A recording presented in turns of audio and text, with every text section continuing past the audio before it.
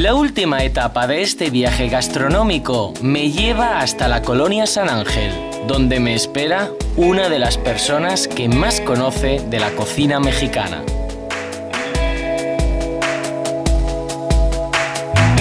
Estoy convencido que muchos de vosotros no sabéis que la gastronomía mexicana es la única gastronomía mundial reconocida por la UNESCO como Patrimonio Mundial de la Humanidad.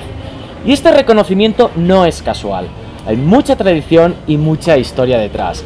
Y para conocer un poco más sobre esta, esta historia y este reconocimiento, me encuentro en la Fonda San Ángel con Roberto González, del Conservatorio de la Cultura Gastronómica Mexicana, que nos va a explicar en qué consiste la cultura mexicana y cómo la UNESCO la ha reconocido como la única mundial patrimonio cultural de la humanidad. Como no, Rubén, pues en primer lugar, bienvenido a México, bienvenido a la Fonda San Ángel, bienvenido a San Ángel, por supuesto, a esta comunidad tan importante en el, en el entorno de la Ciudad de México. Eh, la historia es una historia larga y corta. Por un lado, el Conservatorio de la Cultura Gastronómica Mexicana eh, formalmente fue fundado en el 2006. Sin embargo, en realidad estamos trabajando eh, con este proyecto desde 1997 y ahí empieza a esbozarse lo que después se convirtió en el expediente que se presentó a la UNESCO. Entonces, en esta, en esta Asamblea General de Patrimonio Cultural de la UNESCO en Nairobi, Kenia, se lleva a cabo eh, esta declaratoria junto con otros 47 eh, bienes culturales que habían pasado el primer filtro del Comité Técnico de Patrimonio Cultural y que eh, convierte a la gastronomía tradicional mexicana en ser la primera, en ser reconocida como Patrimonio Cultural de la Humanidad.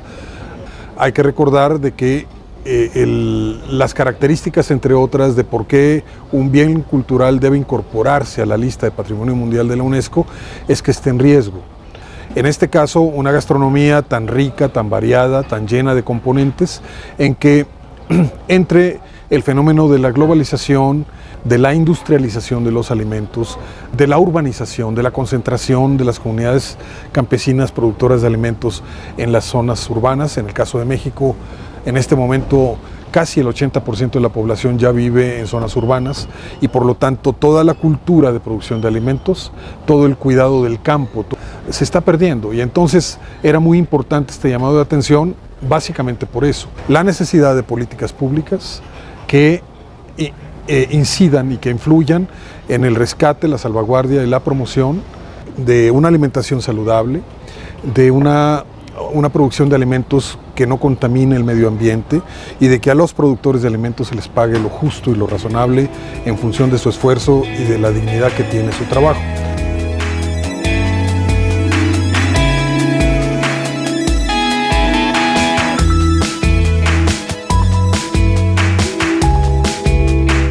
Me ha invitado a comer mole en la Fonda San Ángel para lo cual tengo que pasar antes por el mercado a comprar la larga lista de ingredientes.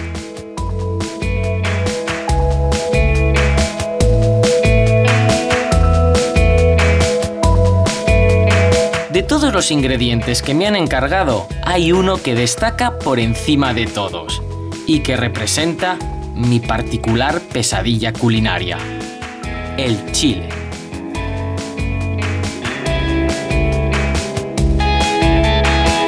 El chile es un ingrediente esencial en la cocina mexicana. Fue domesticado para uso culinario en Mesoamérica hace más de 6.000 años y en la gastronomía de este país se usan habitualmente más de 40 variedades, que destacan por su color, sabor y sobre todo por su ardor.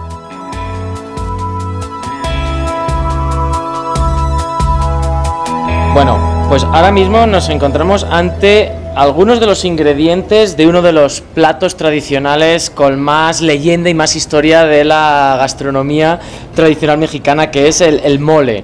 Así es. Eh, ¿Cómo se elabora el mole? O sea, ¿cómo, ¿qué hay que hacer con todos estos alimentos para obtener el mole? Cómo no. efectivamente, como comentas, el mole forma parte de la, de la gastronomía tradicional mexicana de una manera sumamente importante desde un mole sencillo hasta un mole complejo.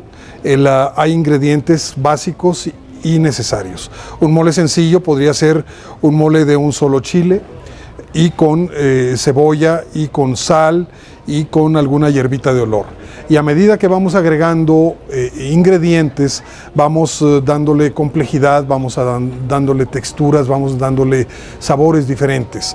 Cada uno de estos ingredientes se va tostando, se va friendo, se va moliendo y se van incorporando paulatinamente.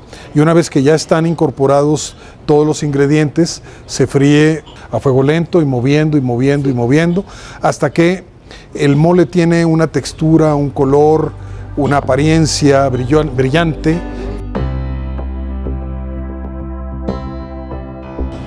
La verdad es que después de conocer toda, todo el trabajo que tiene, todos los ingredientes y todo lo que hay que hacer, tengo que decirte que me da pena comérmelo. pero yo entiendo que un mole feliz es aquel mole que es disfrutado, que es disfrutado por el compartido, Así que nada. Hombre, eh, es un placer compartir este mole contigo. Encantado. Y muchas gracias. Bienvenido a México, bienvenido a San Ángel, bienvenidos a la Fonda San Ángel. Y quiero dedicar el final del programa para rendir tributo a las personas que han hecho posible que la gastronomía mexicana sea admirada en todo el mundo.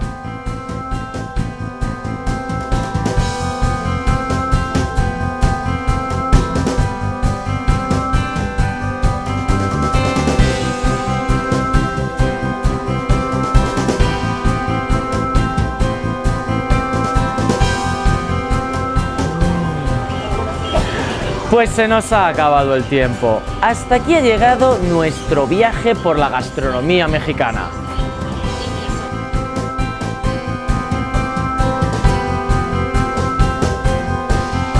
Tengo que confesaros que antes de venir a México mi conocimiento de la gastronomía del país se limitaba a los nachos y a las margaritas. Y en estas semanas que llevo aquí me he visto desbordado con tanta riqueza culinaria. Aunque eso sí, amigos mexicanos, no hay que ponerle tanto picante a los productos.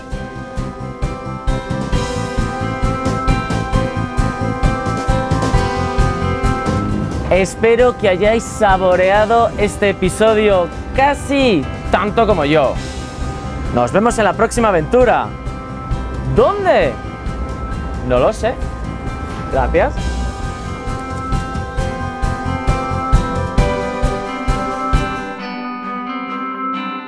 Una experiencia imprescindible en Ciudad de México es descubrir la cocina de mercado. Y para hacerlo hay que venir a un sitio, el Mercado de San Juan.